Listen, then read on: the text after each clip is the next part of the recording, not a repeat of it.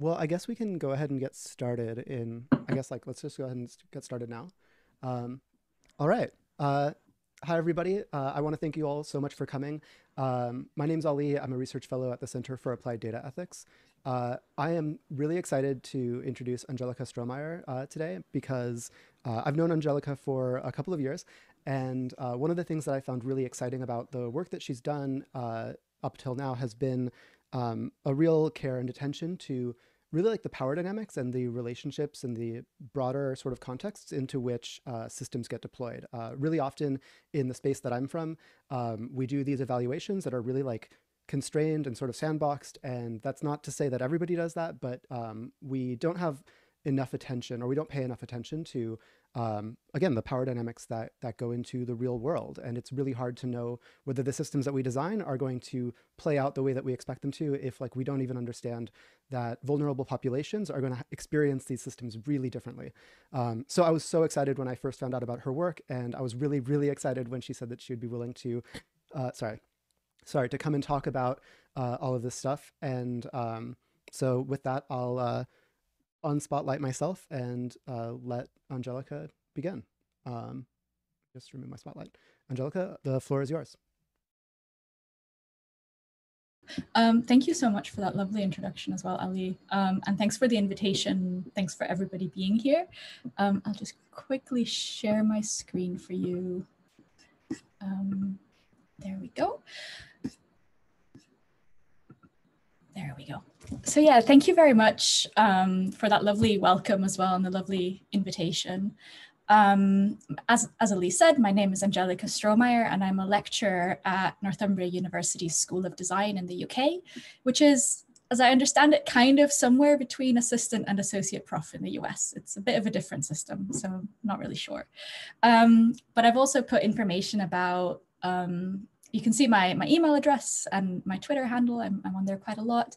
Um, but I've also put information about FemPower Tech on the slide, which is a feminist technology collective I am a founding member of, um, which I'll not talk about today and I'll shut up about it, but just thought you may be interested in looking that up as well. So today I want to talk to you about justice-oriented ecologies, which is a framework for doing research with, in, and for NGOs, activists, community groups, and others who are made marginal or stigmatized in society. And I built this framework while working with a number of sex work support services and sex worker rights activists, both in the UK and in Canada. But it also draws on my work with people experiencing homelessness, addiction peer support workers, and from my long-term involvement with one specific um, charity who support people in particularly complex life situations who may experience a variety of forms of traumas, incarceration, poverty, addiction, having children in care, or who are engaged in other work and activities that are stigmatized in some ways. But I will explain more of that as I progress in my talk. I hope that you'll take away an understanding of what justice oriented ecologies are and why it is important for me to think of justice as an orientation rather than a fixed, finite thing that technology or design can do. I also hope that some of my yet unanswered questions will be of interest to you and that perhaps will make you think slightly differently about your own work or the interconnected disciplines and industries we all may work within. And lastly, I hope that my practical experiences, political insights, methodological implications will make you ask some more questions of your world and, and of our world and your worlds um, and the opportunities for the future. And I really look forward to hearing your thoughts at the end of my talk as well, as I hope there'll be quite a bit of time for us to discuss what I've said as well. Um, I'm going to be exploring justice-oriented design through Nancy Fraser's framework for justice and explain why it is important for me to see justice as it in design as part of a wider praxis of hope towards better, more just futures. And to do this, I feel it's important to focus on the praxis of design and collaboration, so the design processes, rather than seeing technologies and designs as solutions to long-standing socio-technical, socio-cultural, or socio-economic inequities and oppressions.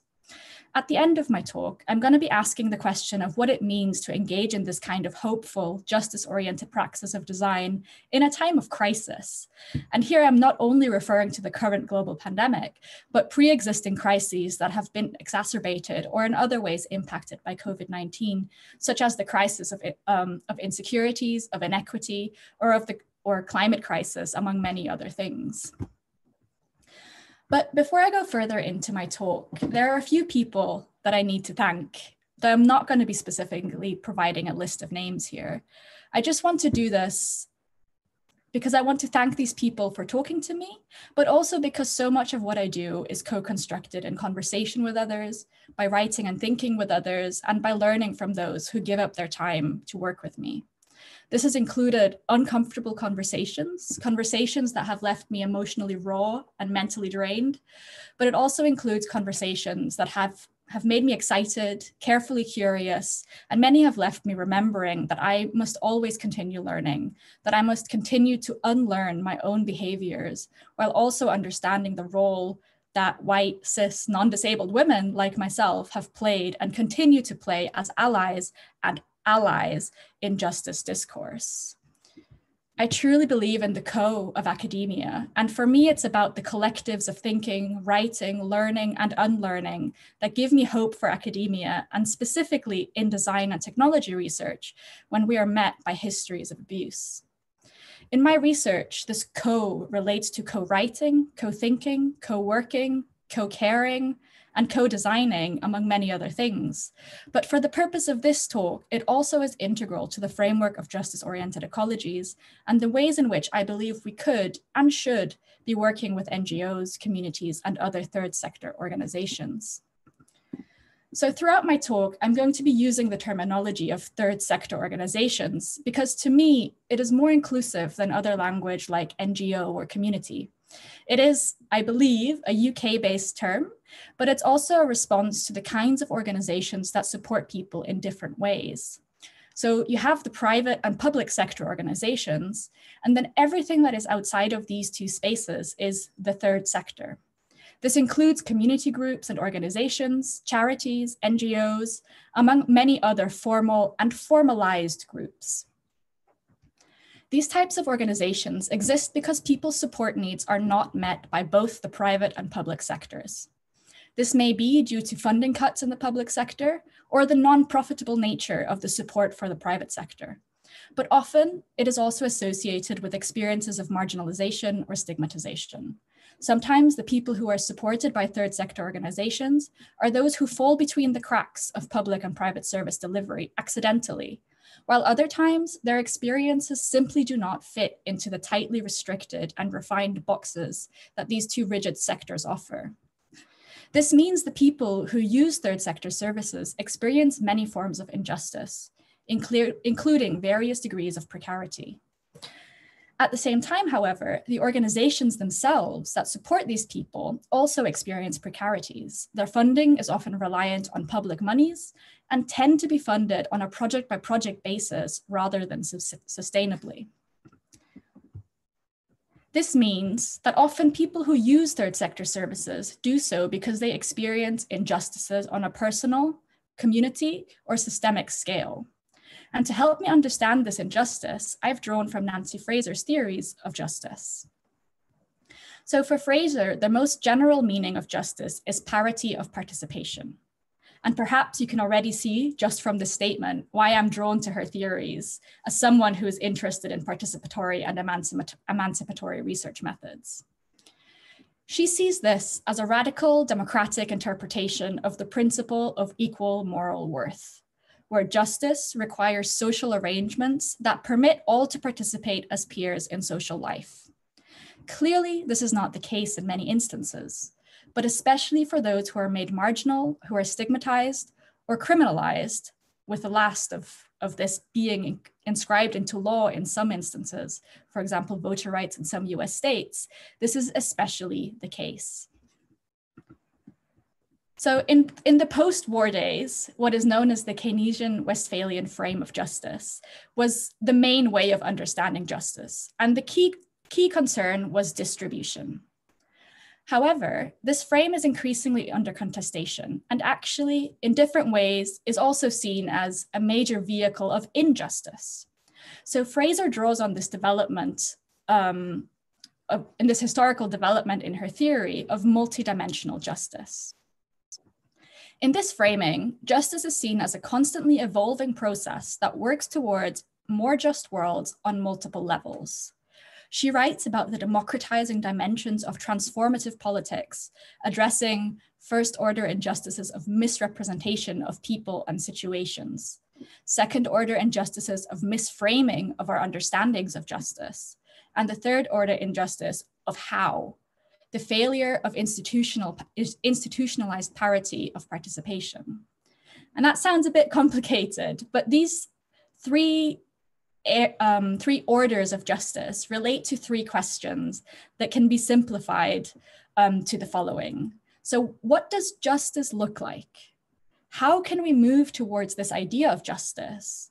And who decides what the answers to these two questions are?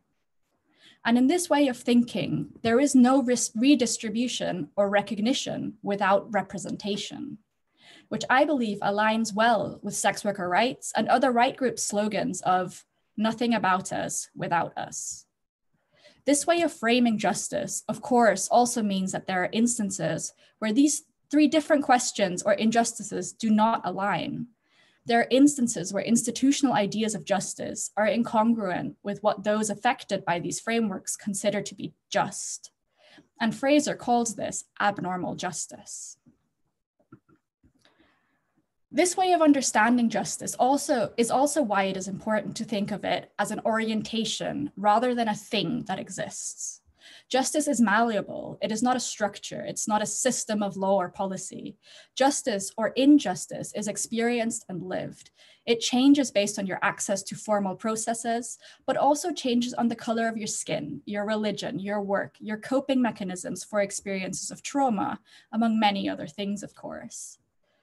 Seeing justice as an orientation to our work as designers, technologists, or researchers working with technologies allows us to use it as a lens to explore what we are working on. It allows us to ask questions with the communities who live in worlds of abnormal justice or experience injustices. It allows us to question structures, to subvert them, alter them, or build alternatives. It allows us to bring conversations of technologies away from the technicalities and architectures, and instead allows us to see them as parts of wider ecologies of services and care. It allows us to see and understand the role and responsibility of technology design and development from a different perspective, while simultaneously not directly looking for solutions. So using this justice orientation for our design work and using Nancy Fraser's multifaceted framework for understanding, seeing, and exploring notions of justice can help us think about our design processes, not just the practicalities of what we do, but also the questions of why we do it, the worlds we want to create by doing it. Daniela Rosner asks in, in the introduction of Critical Fabulations, what would it take to understand design as a different kind of project?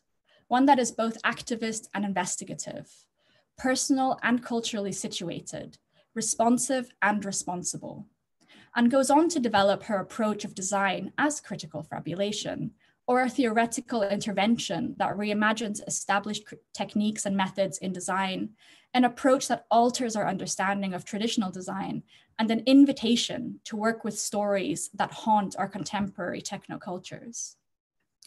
In an attempt to respond to Rosner's question, I want to make use of Mariam Asad's work of seeing design as a prefigurative politic, of seeing design as an opportunity to create the worlds we want to see in the here and now, with the communities we strive to serve.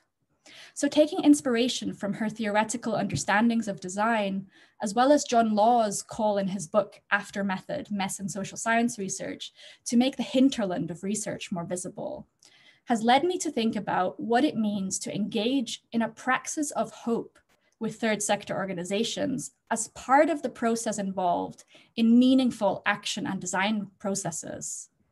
How does it relate to traditional design research? And what does this look like in the mundanity of research practice as it relates to data collection, data analysis, and the publishing of results? The relatively simple argument I want to make about methodology is that the processes we use to develop research projects, collaborations, or encounters matter. I appreciate that looking at these processes in more detail allows us to build multi-layered accounts of research that unearth novel facets of our investigations. It allows us to investigate technologies and their uses, but it also allows us to imagine and enact possibilities for remaking the cultures that surround these technologies. So when working like this, common vulnerabilities, in this case of charities and academics, can be seen as a resource for a praxis of hope. Both third sector organizations and designers with a justice orientation to their work tend to work towards better worlds. So surely that praxis should then be mirrored in the development of technologies in this space. This relates to the research and project ethos, as well as the actions we take throughout and the subsequent outcome of projects. Harun writes about this praxis of hope by saying, I want to think about hope as an ethical commitment to recognizing oneself and others as both desiring subjects and vulnerable objects in the pursuit of social transformation and social justice, and as an ongoing practice of using our fears or anxieties to deepen and extend our capacity for intersubjectivity and intercorporality. This practice is not an individual pursuit but one that is made possible only through relationships with others who share our hopes for a more just, less oppressive future. So these relationships we have with others and the care that is expressed in and through them exists also between researchers and collaborators. So looking more closely at these relationships, I understand that different forms of expertise can come together to create networks that help us build deeper understanding and engagements with our practices, but can also be humbling when we make mistakes. So as Harun says, we need our allies to challenge us to act out of our hopes and not simply to reaffirm us in our anxieties. This then expands our understanding of caring relationships with collaborators, partners, participants. Looking at these issues together and putting this understanding into the context of designing technologies with and in third sector organizations, I learned that relationships, technologies, services are all part of a wider ecology of care and support. In turn, this means that any technologies that are used in third sector organizations do not work independently. They are part of existing and future service delivery, and they are part of ecologies of care and also of the information ecologies that exist already in these systems. So this leads me to Nardi and O'Day's framework of information ecologies, which they claim uses and sees technologies with heart.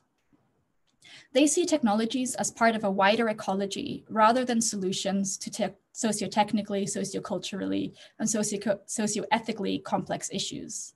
And also see information ecologies as a call for informed, responsible engagement with information ecology technologies at the local level. Using this framework, the digital tools, values, and people who make up the ecology become actors in the system to develop change. They argue that seeing these technologies as tools or things made to be used by an individual, or even as text or a form of communication where its meaning can be reinterpreted in different social situations, or even as systems where there's a complex systemic perspective of the pervasive influence of technologies in our lives, separately is inadequate as none of these metaphors provide an understanding of the transformational change that is possible with the support of digital technologies. Instead, bringing these different metaphors together and merging their particular benefits into the metaphor of an ecology is powerful because it includes the importance of local differences while also capturing the strong interrelationships of the social, economic, and political contexts in which technologies are used and invented. So an information ecology is defined as a system of people, practices, values, and technologies in a particular local environment, where the spotlight is not on technology, but on human activities that are served by technology.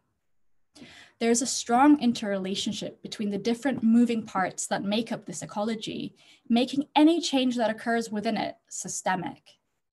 This means that when a change is made in one aspect of the ecology, this will impact on the different ways in which the ecology functions as a whole. Furthermore, there is a diversity of people and tools that make up these ever-changing systems. And in a healthy information ecology, these diverse sets of actors complement one another to support an ongoing co-evolution this means there are dynamics at work within the information ecology that constantly evolves as new ideas, tools, activities, and forms of expertise arise in them. This relates to directly how, to how third sector organizations and academia may change when working together. For this kind of ecology to work, however, Nardi and O'Day argue that people within it must be prepared to participate in its development. And looking at the ways in which digital technologies are developed when third sector organizations and academia work together, I would also argue that it is not only the people who must be prepared to participate in this development, but the resources, funders, policies, and wider contextual information available also need to be part of this evolution. Ultimately, however, using information ecologies means that technologies have impacts on the organizations within which they are used, which based on my experience and research is likely to be beyond their original intention. They have world-making effects. And taking the above into account allows us to ask questions not only of how and why third sector organizations work, but also to change the ways we look at digital service delivery, research, and design processes in this space. Research that relates to a praxis of hope should ultimately not only result in novel interactions with technologies that are meaningful to those involved in the process, but rather should also demand new ways of accounting for difference in, it, in inequity at the societal scale, that the technologies become just or truly sustainable designs, as was written by Dombrowski, Harmon, and Fox in 2016. Going even further than this, the design justice framework compels us to begin by listening to community organizers, learning what they are working on, and asking what the most useful focus of design efforts would be, as Costanza Chock wrote in 2019. Bringing this thinking into conversation with my earlier point that technologies are part of a wider ecology of services and care leads me to a concept I developed during my PhD research of justice-oriented ecologies. In my fieldwork, I worked with multiple sex work support services to develop and ideate on technologies to improve safety, reduce stigma, and co-develop services. By bringing together this fieldwork and thinking about organizational structures and the ways in which academia functions with or alongside the third sector, together with theories like Fraser's work on multidimensional and abnormal justice and Bonnie Nardi and Vicky O'Day's information ecologies, is how I developed this framework of justice-oriented technologies. I created this because I was trying to figure out what it means to do justice oriented design, particularly with sex workers, which is why I think by bringing in some of my earlier work, I can now expand to thinking about working with others who are criminalized as well. I developed this because I felt there was a lack of language in our discipline to think through some of the issues I was facing, both when we work within, within an ecology and when we want to work to learn about the ecology.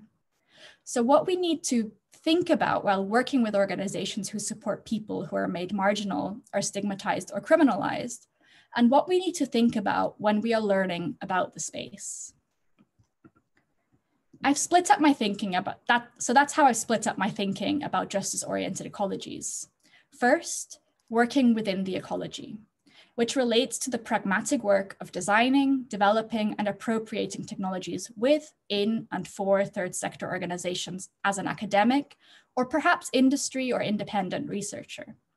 And two, working to learn about the ecology, which means we learn more about the research context in which we work and start to unpick some of the complications that are part of this ecology, particularly those related to abnormal justice. When working within the ecology, we rely on localized translations, where we translate everyday language from one context to another.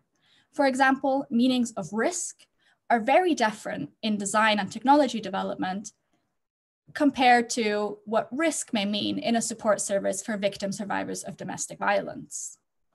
On top of this, there is a need for synchronized co-evolution of the different worlds that collide or enmesh within the justice-oriented ecology. This relates, for example, to the ways in which academia and the organization itself develop alongside and with one another. This relates to temporal aspects of research and funding structures, as well as different needs for impact and publication or output of work, among many other things. And finally, it also relates to the need for invested compromise. This draws on notions of critical friends or thick care, as talked about by Maria Puig de la Bellacasa. Everyone in the ecology will have to make compromises as part of the relationships, and very importantly, not just us technology researchers. But we make these compromises because we are invested not only in the survival of the ecology and the humans and more than human things that make it up, but we are in invested in it thriving, developing, and making manifest that prefigurative politic we like to talk about as researchers. So when it comes to working to learn about the ecology, these are almost like high level implications for design. From working with and in third sector organizations, I have learned that we are constantly designing in and for risky situations.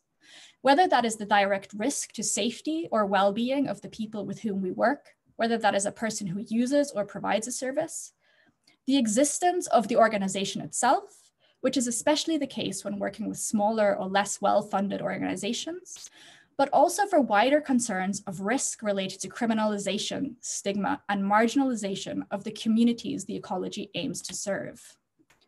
We are also designing for hybridity, which brings the discussion back to the disparate worlds of academia and technology versus the third sector. However, it also creates, relates to a more direct technological concern. The digital divide is real, and many people don't have access to or do not engage with digital services. There's a serious need for services that have hybrid functions where paper-based in-person contact is available wherever possible, or at least contact via phones or in the ways hybrid functions are, and other ways hybrid functions are available. And finally, we're also designing for entanglement.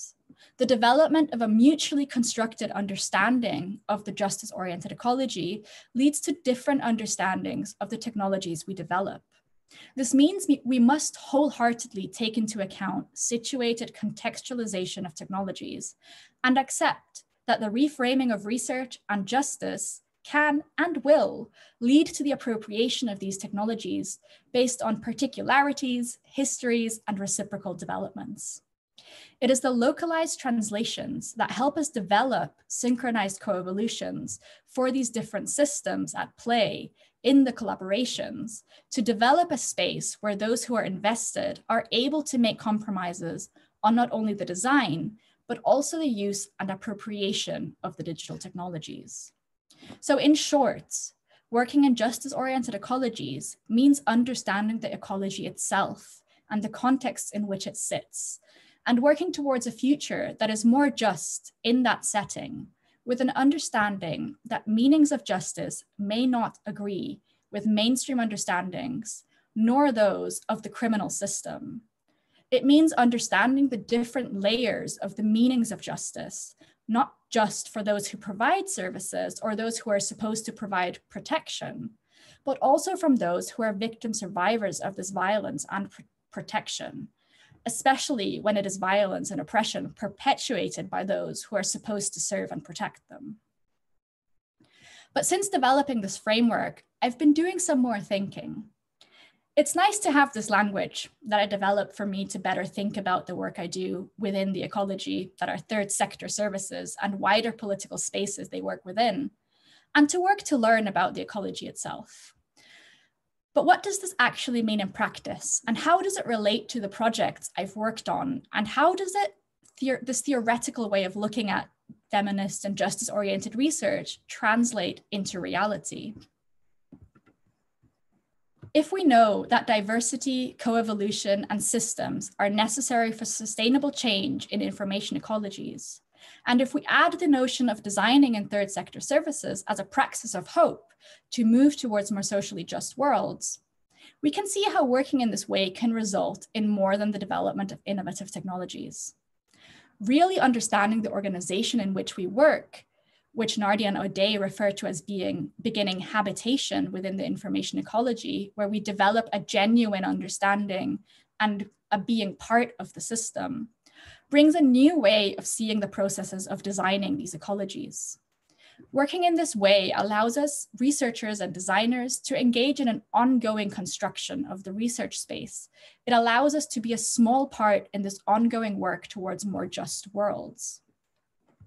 And working in this way, and I've alluded to this previously, means we look at design and technologies as more than solutions. In a way, it forces us to look more closely at the design process itself.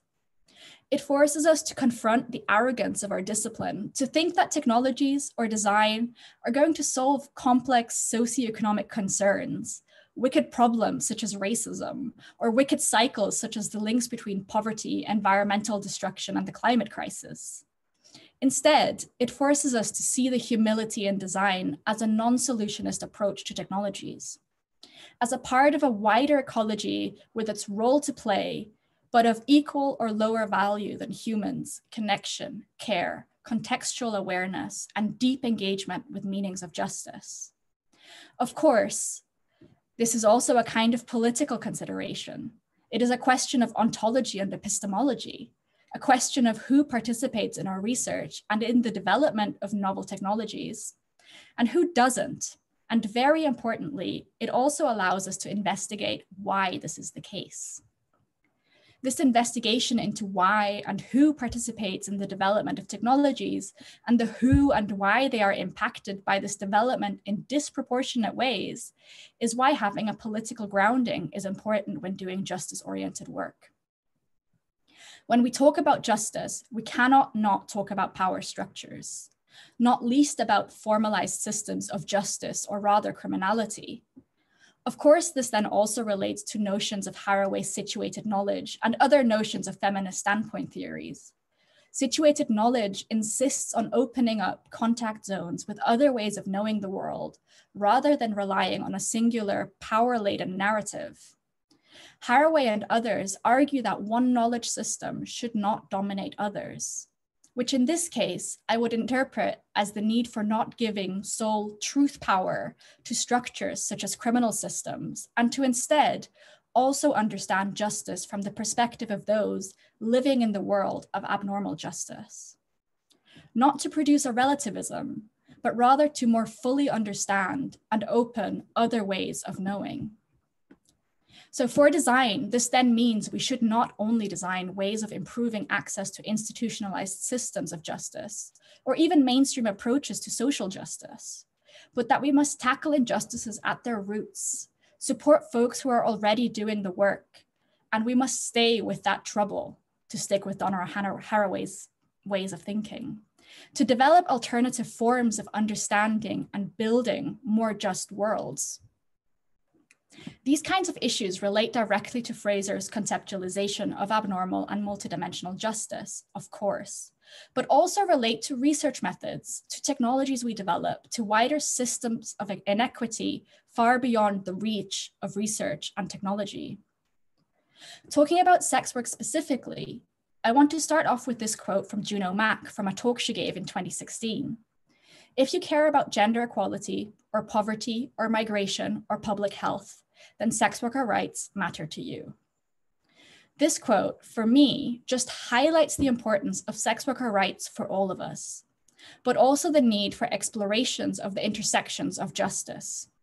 But how does their need, how do sex workers' need for rights and safety relate to digital technologies? I'll present three different areas of research, issues of safety, supporting direct activism and remembrance on International Day to End Violence Against Sex Workers, and the process of making as community building to create a praxis of hope.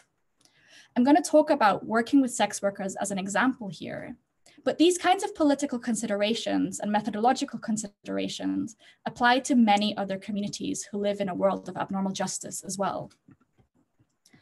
So what becomes clear from looking at sex worker rights is that worlds of abnormal justice are all around us and that they are impacted beyond the nation states that govern us. For example, the US introduced the widely contested Senate House bills called Stop Enabling Sex Traffickers Act and Allow States and Victims to Fight Online Sex Trafficking Act, also known as SESTA FOSTA, which impacted sex workers far beyond the US. Within days, escorting sites in Canada, the UK, and elsewhere were shut down, and many sex workers were forced out of these online spaces to work in less safe conditions. This is just one example of how the American dominated internet, um, as Barwulor calls it, impacts on sex workers' safety and arguably also the safety of others who are further marginalized by these and, by these and similar bills and policies. Sex workers are made vulnerable by stigma, legal status, and among other things, digital policies and laws. At the same time, however, they are resilient and skilled at countering such injustice through activism and the implementation of pragmatic solutions to problems. It's important for us to understand and learn from this work, while also ensuring we as academics do not co-opt the work and research done by them. We must not see this from sex workers as a resource to be exploited. Instead, we must appreciate sex workers' expertise as what it is and work with them to better understand their experiences, share our relational expertise, and use our power as academics to work towards enacting change. One way in which I've tried to do this is by working with sex workers, sex work support organizations who provide life-saving services such as bad client and aggressor list, or which are sometimes also known as ugly mugs reports. And these are instances where sex workers exchange information on potentially dangerous clients, both online and offline. I worked with organizations in the UK and in Canada to study the digitalization of these community-driven safety practices. And I do not wish to compare these two organizations that you can see on the screen at the moment, nor the work that they do. They operate in different countries with different legal contexts histories of oppression and activism, and have different foci for their services. I am bringing these two together here to share learning from both of them to then develop new questions for us to think about. On the slide, I've written the implications for design from both of these studies. I do not have time to go into detail here, but do just want to point toward the need for contextualizing experiences of safety and the importance of multi-layered impacts of services on safety, solidarity, and advocacy. In the paper, where collaborators and I address the bad client and aggressor list, we describe multiple uses and purposes of this particular, partially digitally mediated technology as a way of imagining processes that are more just for sex workers experiencing violence. We argue that the list, as it's also sometimes known as, has been successful in achieving its many purposes exactly because it does not strive to solve the problem of violence, but rather because it is recognized as an intervention that can support the ongoing battle for sex workers' rights. It is pragmatically, aesthetically, and emotionally situated within the organization's aims, embracing the humanity and peer elements necessary for the list to do its work. The second project that I want to talk about is my participation and invitation to participate in an activist action on International Day to End Violence Against Sex Workers in Newcastle, where, where I'm still based. So in, in this project, I supported the direct activism and remembrance of the lives lost in the last year due to violence on this internationally recognized Sex Worker Rights Day. So the day consists of an activist march through Newcastle using red umbrellas, an international system for sex workers' rights. Is then followed by an incredibly emotional remembrance service um, with poetry readings, song performances, and a number of activities to, to, to remember and celebrate the lives that had been lost. This event is then followed by a reception, which in 2017 and 2000, no, 16 and 17 included the crafting of the Red Umbrella Archive, where people who participated in the day's activities were able to share their experiences. Wooden umbrellas could be decorated with red craft supplies as glitter and feathers, which could then be placed onto a small computer as is seen in the top right image on the screen, which was built as part of Alexander Wilson's Jigsaudio project, if you're interested. On this computer screen then, an audio message, a story, poem, or experience could be audio recorded. And this recording is then linked to the wooden artifact through RFID tags. So the archive is made up of the wooden pieces and a website where the recordings can be listened to. And in, in the second time around we did this, we presented the umbrellas from the year before and offered an opportunity to listen to those stories while working on new, new wooden umbrellas that year. And the third project I want to talk about is the process of making, literally sewing, as community building to create a praxis of hope. And I've talked a lot about this project called the Partnership Quilt, so I won't spend too much time on this. Um, but in this project, it was really not about the artifact that came out at the end, which was a, a quilted blanket with embedded capacitive touch sensors that when you touched certain parts of the blankets, you could, with headphones, listen to the stories of the women who were involved in this project. So it was about the process of sewing together rather than that finished product. It was about the sharing of stories and experiences, making each other cups of tea.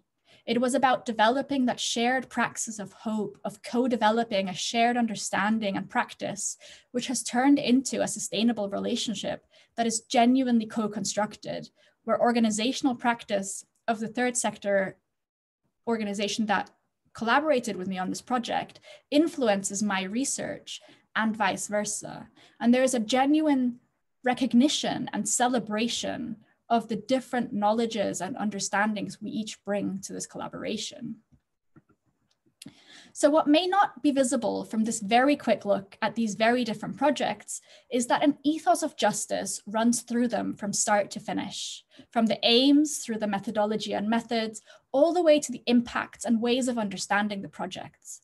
As you may have seen, I added information about publications associated with each of these projects, which give a much more detailed look at them. And importantly, each of these projects also have associated visual reports, which show you more about the process and which are accessible to non-academic audiences.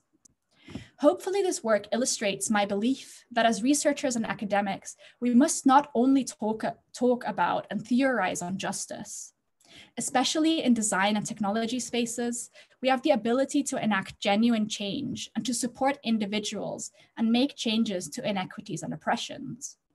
But quite importantly, we can also contribute to these same inequities and oppressions, or even create new ones.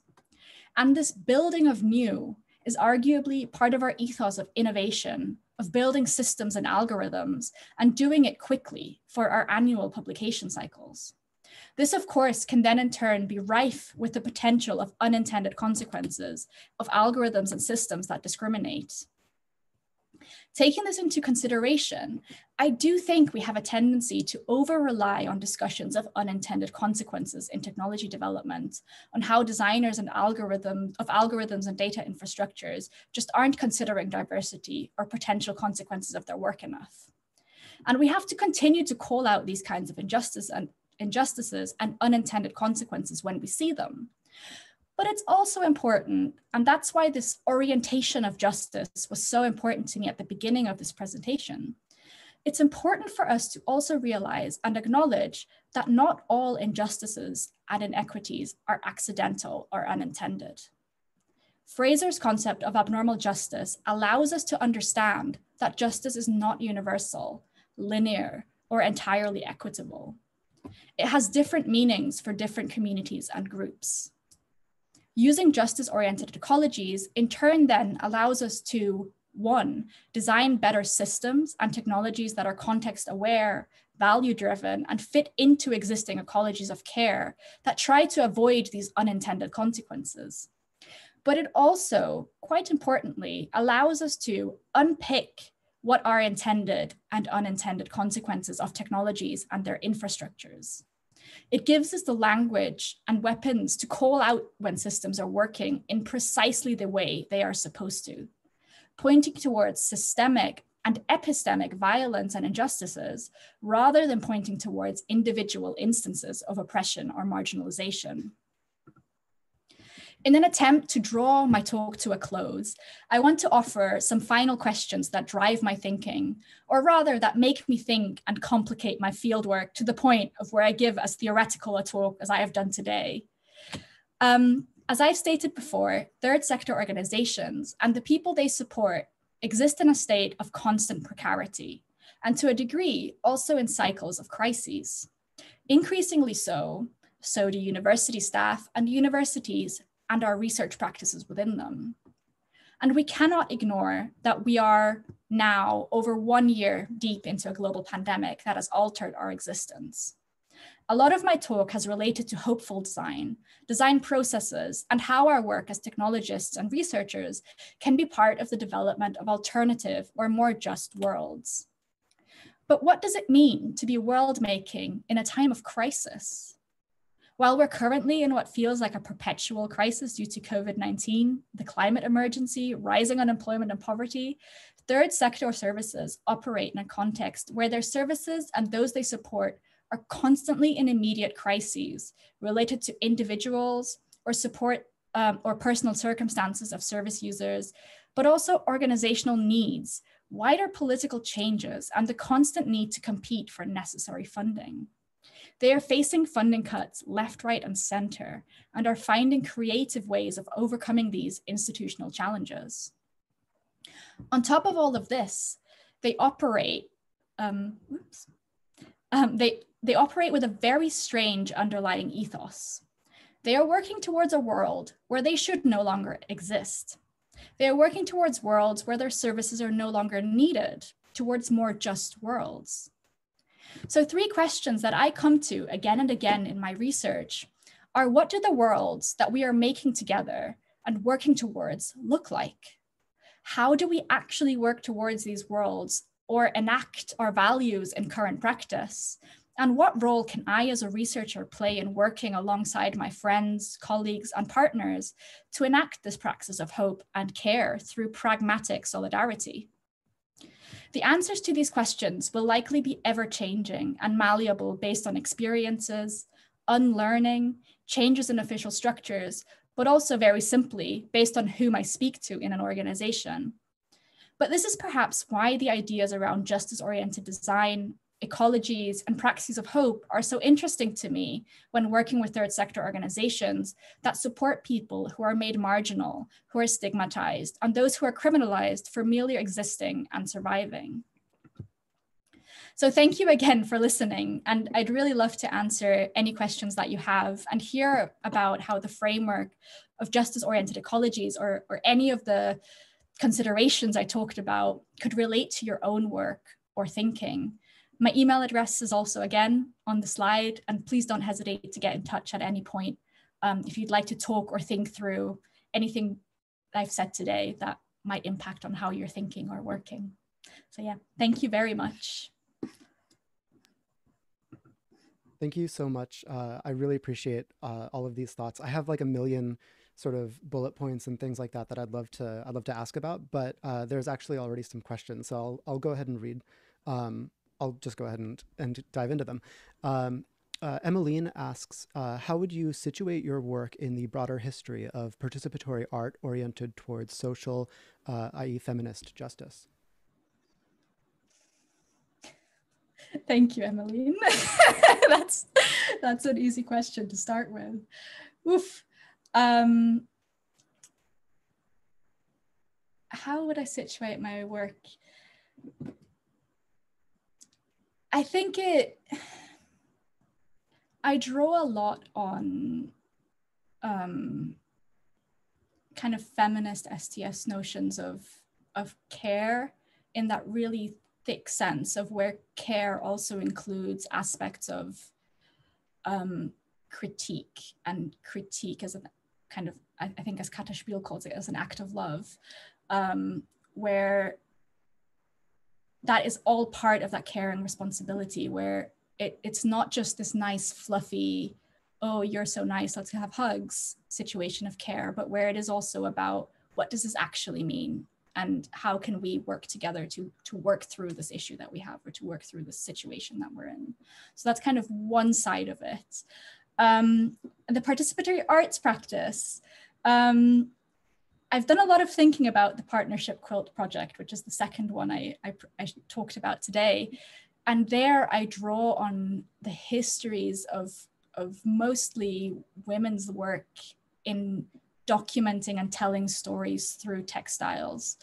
And there is a really wonderful um, history to that. And across the world, textiles and the making of them and the, the, the keeping of them and the, the heirloom element of the textile that I'm really, really inspired by and, and have been thinking about a lot more with those metaphors of sewing and, and patchwork and mending and slowing down a little bit.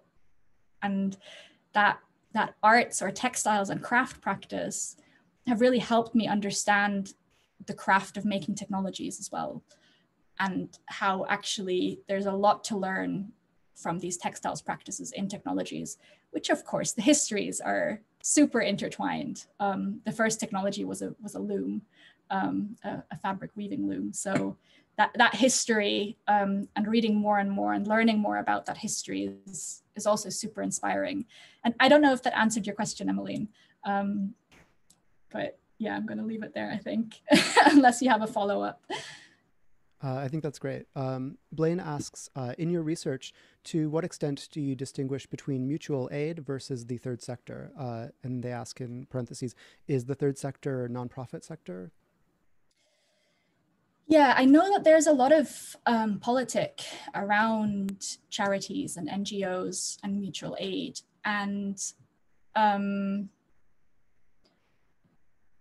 to what extent do I distinguish between the two? I think most of the organizations I've worked with would not class themselves as mutual aid organizations. And um, that's not out of a out of anything. It's just they are established charities with legal, like a charity is a, is a is a thing that's enshrined in law, and you need certain structures and um, things in place to be able to call yourself a charity. Um, I personally actually think mutual aid is part of the third sector.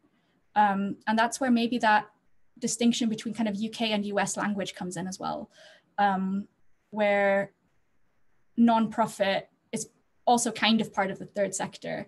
Um, but so I think is mutual aid. And to me, mutual aid is a wonderful, wonderful thing um, that we should always support if, if possible.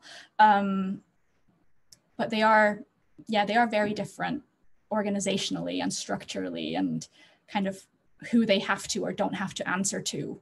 Um, and there, there's a lot of politic involved in working with the third sector and charities or nonprofit organizations.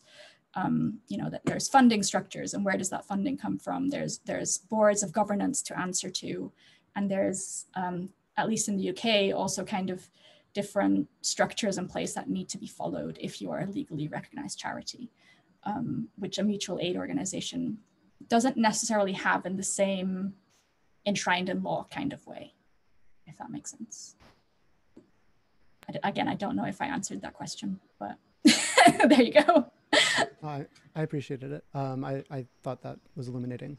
Um, I uh, I realize there's only a little bit of time left, but I guess I'm I'm sort of curious about your thoughts uh, at like a very high level. Um, do you feel like I mean, you and I are sort of both in the HCI space, maybe like to varying degrees of overlap. Uh, do you feel like the HCI world has changed or grown or matured on on this subject of of thinking about the ecology and working within, and then also sort of making sense of the ecology within which we exist, uh, or the various ecologies within which researchers exist? Like, could you speak I, to some extent about like the changes that you've seen, or either over your career or historically? I think so. I, I think as a field, we're not very old, um, but we've definitely had a an interesting history, um, kind of starting with computer scientists and so psychologists, kind of going, how can we work together to make you know, usability was a thing that's not very long ago, but it seems like epistemologically a long time ago. Um, and I definitely think we're moving super quickly. And this this understanding of justice, I think it was in 2016 that the justice oriented interaction design paper came out. And that was right as I was doing my PhD. And I remember reading it and rereading it and re-rereading it and just continuously like going through it. And I had the same copy in my hands with different highlighters and notes every time I read it. Um, and there used to be maybe handful of papers at conferences that address this issue, whereas now we have a handful of sessions that address these issues. Um, so there definitely is a, an increase of thinking about this. And I do think that's a good thing because it again it provides these different kinds of knowledges and different perspectives um, but i i do wish there were more diversity in perspectives um, not just from the researchers but also the communities we work with in a deeply engaged way. Um, i do think there definitely is still a tendency of that going into a community doing some research building a system you know leaving. But that is getting questioned more and more and more. And taking CHI as an example as the biggest conference in the discipline um, you know the establishment of that new subcommittee is absolutely wonderful and i mean i was an ac on it so like i had a very positive experience. Um, it was really wonderful. And all of these things that we've talked about in panels or in you know hidden back channels between researchers of oh i wish the review process were more careful and i wish reviewers understood more about the work i'm doing. Because a lot of this kind of research a few years ago you'd get reviewers that didn't get it and they were like just didn't get it clearly and sometimes that was a good thing and sometimes that was a bad thing um, whereas i feel now there's there's a lot of researchers who have done the same learning I have done or very similar kinds of learning. And they're in similar career positions as me now, where we have PhD students that we supervise, there are research assistants that we work with. And, you know, it, it is that growing web of understanding and of, of unlearning and, and thinking about these really knotty issues. Um, so yes, going in the right direction, I think, um, but definitely a lot of work to be done and different sub audiences and communities of the sector are definitely at different stages in this process. Um, yeah, I, I, wouldn't say that the discipline as a whole has really dealt with these issues, um, but there's definite pockets that have really deeply engaged with it or are deeply engaging with it at the moment.